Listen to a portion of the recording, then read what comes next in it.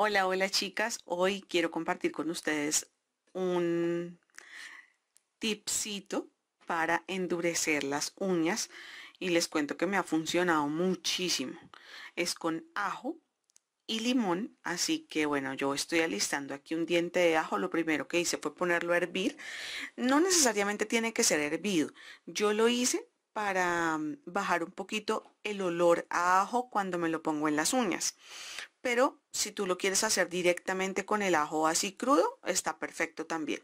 Lo dejamos hervir más o menos por 10 minuticos y ya está perfecto. Bueno chicas, una vez que se ha cocinado en agua caliente el ajo, pues lo que voy a hacer es traerlo a un mortero.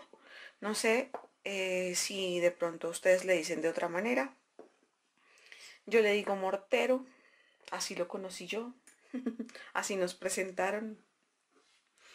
Y lo que vamos a hacer es como un puré de ajo.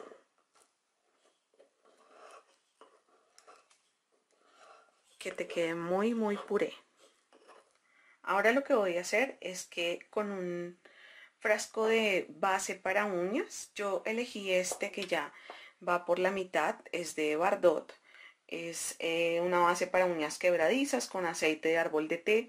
Como ya va en la mitad más o menos, yo dije como, bueno, esta es la que puedo usar para reforzarla un poquitín. Y em, ahora lo que voy a hacer es poner el puré dentro del, del frasquito. ¿Listo? Entre los muchos beneficios del ajo están los de ayudar a reparar la estructura dañada de las uñas. Da brillo también, impide el crecimiento de hongos y bacterias y aporta minerales como el calcio y magnesio que eh, te ayudan a eh, conservar el esmalte de la uña. Si el frasco que tú vas a usar es de una marca que es un poco más grande, puedes usar dos o tres dientes de ajo.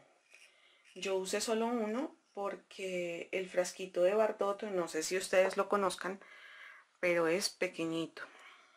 Ahora nuestra sagrada vitamina E. Esta se ha convertido en, en amiga íntima de mis uñas. Voy a poner una sola porque es un frasco pequeño, pero recuerda que tú podrías usar dos o tres dependiendo del tamaño del frasco.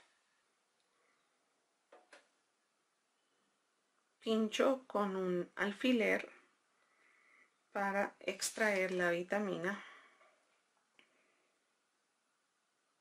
y vaciarla dentro de este frasquito de esmalte.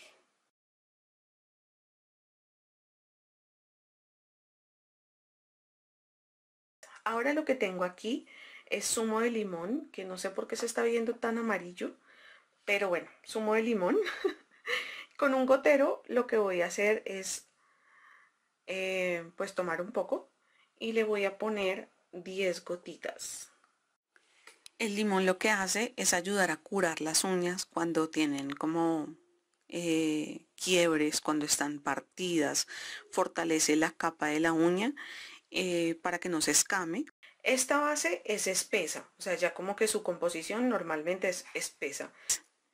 Así que cuando la ponga en las uñas, en mi caso, como elegí una base espesa, va a quedar un poquitito grumosa en las uñas.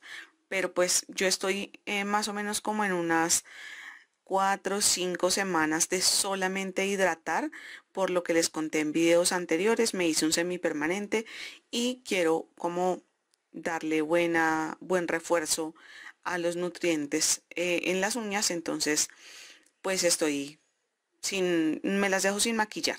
Así que no tengo, ahorita mismo no me afecta que me quede como grumoso el tema en la uña. Lo que quiero es que el ajo, el limón y la vitamina E trabajen para ayudarme a fortalecer mis uñas. No sé si se hayan dado cuenta, pero yo no soy de uñas largas por el tema laboral, pero de todas maneras sí las necesito fuertes porque Em, aunque sean cortas, uno siente cuando la, uña está débil. Eh, me ha ido muy bien con este, em, con todo lo que les he mostrado de, uñas últimamente, me ha ido súper bien. He visto realmente cómo hay una recuperación después de este semipermanente. Espero que les haya gustado. Si es así, por favor, regálenme un like y nos estamos viendo en un próximo video. Cuídense mucho, que Dios las bendiga. Chao, chao.